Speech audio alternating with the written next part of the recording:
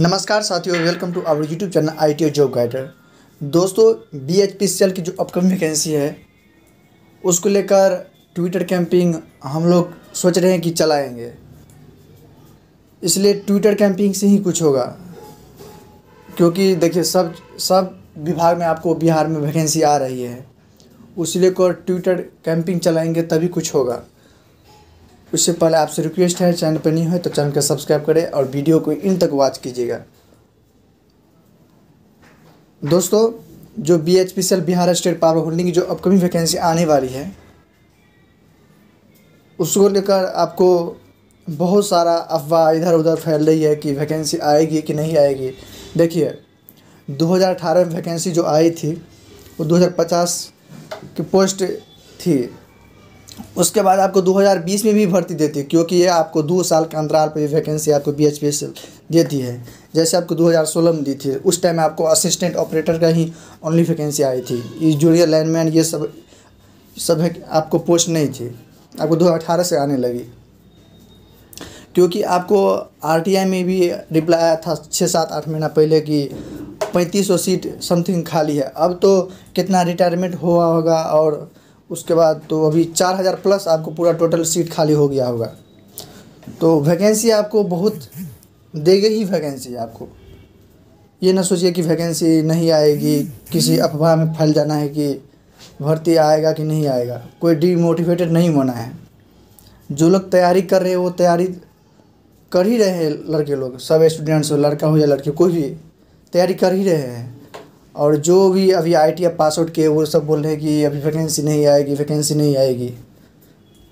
इसलिए क्योंकि उसमें क्वेश्चन भी आपको हाई लेवल पूछते हैं, आपको पूरा जेई लेवल क्वेश्चन पूछते हैं। आई लेवल आपको सिलेबस दिया रहता है, उसमें अठारह उन्नीस जो चैप्टर रहता है थ्योरी का, वो आप रहता है बट आपको क्वेश्चन जो रहता है, उसको बहुत हाई लेवल रहता है। इसलिए आप लोग कुछ जैसे मैं कोटली क्लास से ज्वाइन कीजिए पिंडल सर और ईडी क्लास से रमन सर ये दो टीचर से आप थोड़ा बहुत पढ़ लीजिएगा तो आपका पूरा काम तमाम बन जाएगा।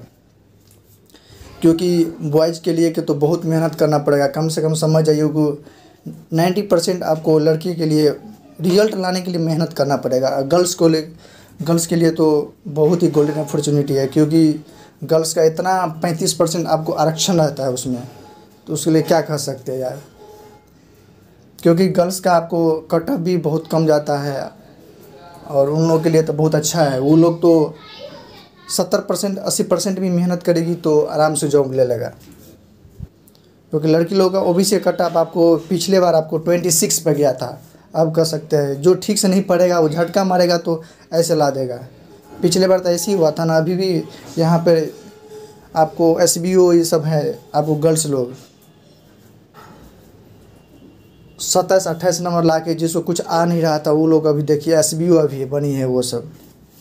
और लड़के लोगों को तो मेहनत करने की पूरा है ही, क्योंकि उसमें सिक्सटी प्लस आप नंबर ला लीजिएगा तो आपका नौकरी तो एस बी ओ मिल ही जाएगा। आपको असिस्टेंट ऑपरेटर के लिए कम से कम पचहत्तर अस्सी प्लस नंबर लाना होगा। ये वैकेंसी जो आने वाली है आपको, क्योंकि आपको देखिए, बिहार में जितना भी आपको विभाग है, उसका सब आपको फ़ाइल ब्यूरा मांगा है आपको तेजस्वी यादव, नीतीश कुमार की। सबको भर्ती देगा, क्योंकि आपको 2024 में लोकसभा चुनाव है ना। और फिर 2025 में आपको ये विधानसभा चुनाव हो जाएगा तो सभी मंत्री आपको इधर उधर पूरा फोर्स करेंगे, इसलिए जानवे करते हैं उनके कैसे होता है ये सब। इसलिए उनको भी थोड़ा फोर्स है, प्रेशर है। वैकेंसी नहीं देगा तो कैसे होगा? ऐसी वैकेंसी नहीं देगा, लाली पॉम्प दिखा देगा तो उसको भी ऐसा मंत्री झुक स्टूडेंट लोग, सभी लोग झुकाएगा। इसलिए आपको इधर, आपको नॉन टेक्निकल में आपको आगामी वैकेंसी जो है, लोकसभा चुनाव जो होगी 2024 में, उसको लेकर तो पहले आपको एल भी वैकेंसी देगी। और आपको इस साल ये समझ लीजिए कि नीतीश कुमार ऊर्जा विभाग हो गया, फिर आपको स्वास्थ्य विभाग हो गया, फिर आपको बिहार कांस्टेबल आपको दरोगा इस सब का आपको भर्ती भी देने वाली है, क्योंकि उसका फ़ाइल पूरा तैयार हो गया। बी एच पी के पास भी आपको फ़ाइल तैयार है बट आपको वो कुछ आपका इंटरनल चीज़ होता है ना कोई मान के शेयर नहीं करना चाहता है। हम भी कभी कभी कॉल लगाते हैं आपको सी एम डी के पास तो सी एम डी खुद नहीं रहते हैं। उसका जो सर्वेंट रहते हैं, वही रहते हैं। तो उसी का, उसी के पास कॉल करते हैं तो बोलते हैं कि आप लोग तैयारी करते रहिए वैकेंसी आपको आएगी तो आपका पेपर में आएगा।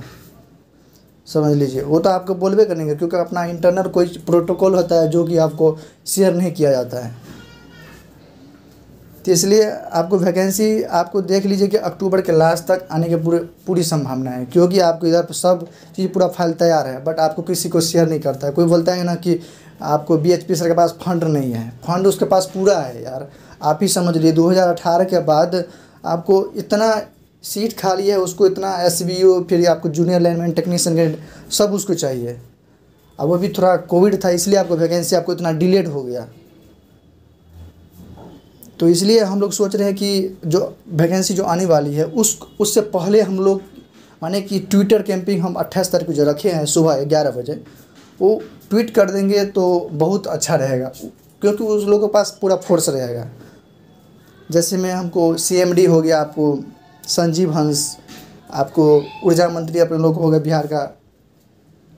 आपको विजेंद्र प्रसाद यादव यादव और नीतीश कुमार सीएम, उप सीएम आपको हो गया तेसी यादव, पप्पू यादव और सस्तक न्यूज़। इन लोगों को पाँच छः लोग हैं ना ये सब, सभी को आपको टैग करना है। तभी हमारा कुछ होगा, ऐसा कुछ नहीं होगा। कुछ पाने के लिए तो कुछ तो करना पड़ता है।